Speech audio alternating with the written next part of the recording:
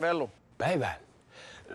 Täällä puhuu Esko äh, Suomen Pankista. Olisiko toimitusjohtaja itse paikalla? Niin, Antti Koskela. Hetki. Antti. Niin? Täällä on joku Esko Ö. Äänruut Suomen Pankista. Antti? No Eki! terve, terve. No mitä mies? No aivan.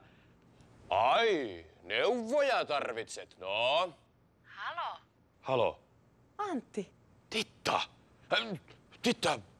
Po, pörssikursser. Aivan niin kuin ruotsiksi sanotaan. Ostat nousevaa.